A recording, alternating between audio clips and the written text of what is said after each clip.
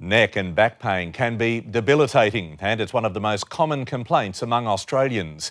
Tens of thousands of people need hospital treatment each year, but there's now a new implant bringing instant relief to sufferers.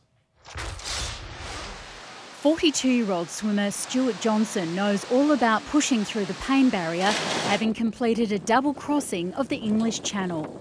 But even prescription painkillers could not ease the problems with his spine. At worst, I couldn't sleep at night because I'd roll over or sleep on my side and I'd get this like an electric shock. He was at the end of the road. He couldn't go on any further. Not for long, Stuart underwent surgery to replace the damaged discs in his neck with this, an artificial implant the size of a thumbnail. We can now replace a degenerated disc with something that really does mirror the biomechanics of a normal disc. That's because the artificial disc and its nucleus is designed to mimic a human disc, making it more flexible and able to withstand load. This is after the surgery. From a motion perspective, a fantastic result. Traditionally, patients have a spinal fusion, which requires screws, plates, and a cage to join the spine together.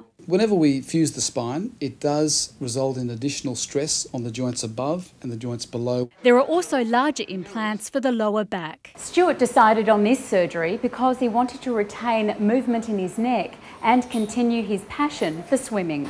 That includes a triple crossing of the English Channel. I plan to go back and try again next year. Gabriella Rogers, 9 News.